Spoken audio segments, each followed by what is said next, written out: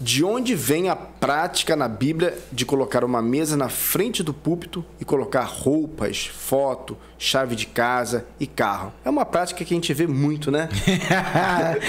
é, provavelmente as pessoas devem terem lido algum contexto da história do apóstolo Paulo, que ele pegava parte dos seus aventais é, ou dos seus lenços e levava para os enfermos, os enviava para os enfermos e os enfermos eram curados.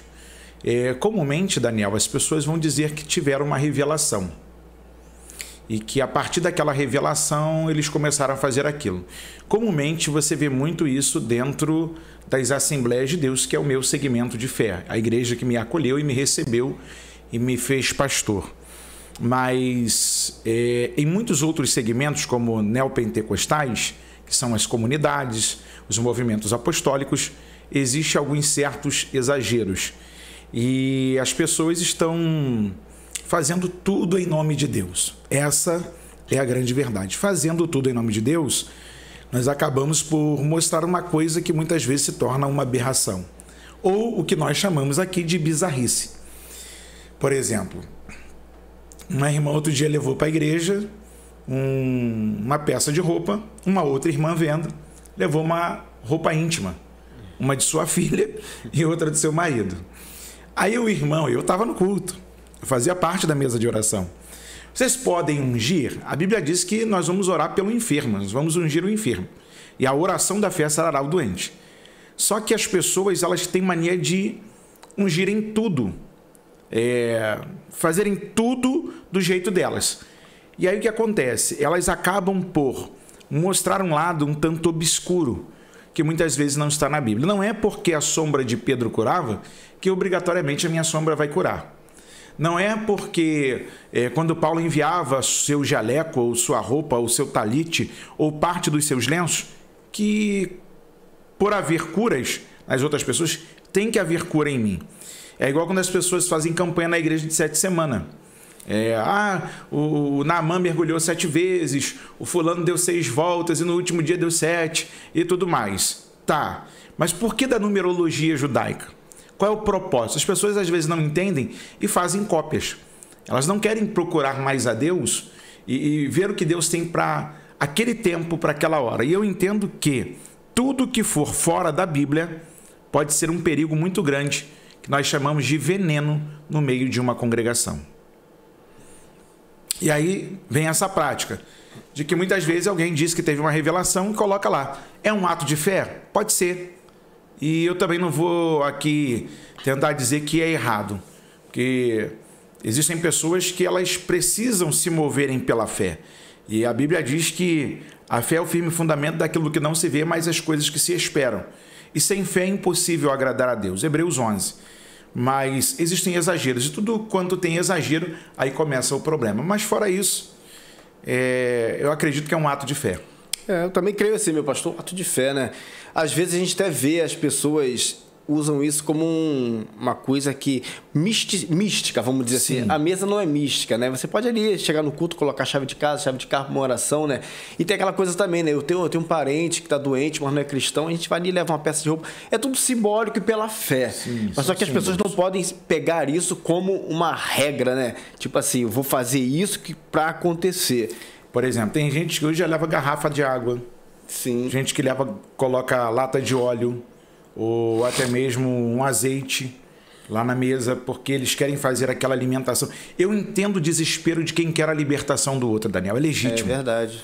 Porque uma mulher que sofre é, pelo marido que é alcoolizado, pelo marido que é um drogado, pelo marido que tem vícios no jogo, ele deixa de colocar o seu ganha-pão dentro da sua casa para gastar dinheiro com a jogatina, para gastar dinheiro nos seus vícios. Então, assim, há um certo desespero e uma certa ação legítima. Só que nem tudo que parece legal, de fato, nos dá o direito de enxergarmos milagre naquilo ali e uma aprovação divina. Porque o que vai fazer a, a, a, gente entender que as coisas acontecem é que Deus nos deu uma arma poderosa, que é a oração.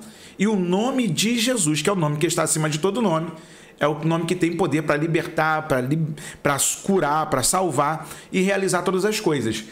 eu volto a dizer, é apenas uma ação de fé dentro de um desespero que alguém está vivendo e ela quer enxergar o milagre de Deus dentro da sua casa. O senhor falou do ato de ungir, né, meu pastor? Nós vemos lá na, na Bíblia, né, o ato de ungir pessoas. O senhor acha, o que você acha disso de ungir coisas? Por exemplo, eu vou comprar um carro, uhum. eu vou ungir o carro. Eu vou comprar uma televisão, eu vou ungir a televisão. Tipo assim, como se fosse uma proteção de Deus, ou então consagrar a Deus essas coisas. Então, o ato ou o efeito de consagrar é o ato e o efeito de você deixar de uso exclusivo para Deus.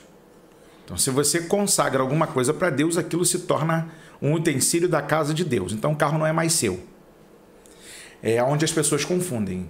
Eu já vi gente, vou contar um testemunho aqui rápido, de uma pessoa que, é, algum tempo atrás, ela disse que ganhou um carro da parte de Deus. Mas eu vi o quanto ela ralou, o quanto ela trabalhou, o quanto ela suou a camisa para ter aquilo. E ela disse que era de Deus. E pediu os irmãos, os irmãos tacaram o óleo no carro, mancharam a tintura todinha do carro. Mas ela estava muito feliz. E ela disse que aquilo era para a obra de Deus. Todo mundo que chegava lá, mãe, preciso ir ali no médico, levar não sei quem, tá precisando. Ela dava a chave. E um dia o filho dela pegou o carro e foi pra praia. Dar uma zoada, namorar. O cara tinha três namoradas, botou duas dentro do carro e saiu. Mão, o carro acabou-se na volta. Perda total. Morreu o filho, morreu a namorada, morreu não sei quem. E o problema foi terrível. Mas ela colocou diante de todos que aquilo era de Deus. Se era de Deus, o que estava fazendo ainda na mão dela? É a pergunta que não quer calar. Agora, quando a gente fala de agradecer, por exemplo, você tem aqui a produtora Estúdio D e você tem seu automóvel, sua casa e outros bens. Você orar a Deus agradecendo porque você adquiriu, você orar a Deus pedindo sabedoria para como manter aquilo que chegou na sua mão, eu concordo. Agora, quando você unge, quando você consagra para Deus, então aquilo não é mais seu. Você está devolvendo para Deus. Agora, qual é o problema? É que as pessoas elas vivem nesse desespero, nesse afã de que tudo tem que levar óleo. E às vezes esquece de colocar o óleo na cozinha, que é para ter um bom tempero, um óleo na salada. Mas, não debochando da fé de ninguém, eu entendo que é muito bom a gente ter uma, uma, direção de Deus, é muito bom a gente ter discernimento de que tudo aquilo veio da mão de Deus e que tudo aquilo é, é Deus pode nos dar sabedoria. Eu acredito que, é, é, como eu falei no início, é a problemática de você exagerar. Infelizmente, o mundo pentecostal ele é muito exagerado, ele é muito intenso em tudo que faz. E aí as pessoas elas querem consagrar tudo. Imagina você tacar óleo num celular. Imagina você tacar óleo na televisão. Se tem uma abertura aqui que aquele óleo possa entrar vai dar PT na, na, parada, vai dar ruim, vai escangalhar. Só que as pessoas elas querem ter algo assim, não, porque nós consagramos, aquilo é para Deus. Daniel, meu telefone já tocou duas e pouca da manhã e a irmã desesperada ligando do outro lado, pastor, vem aqui orar, onde tá passando mal quem? O meu cachorrinho. e ela deu, irmão, óleo. Em casa ela orou, botou óleo e o cachorro foi curado. Não sei se foi a fé, se foi milagre, o que, que foi aquilo lá. O cachorro ficou bom. E ela, toda vez que o cachorro passa mal, ela corre no azeite, ela faz a oração da fé, coloca azeite na cabeça do bichinho, dentro da boca para ele engolir e o cachorro fica bom. O cachorro parece que vai durar 200 anos. Tá lá, tá vivo.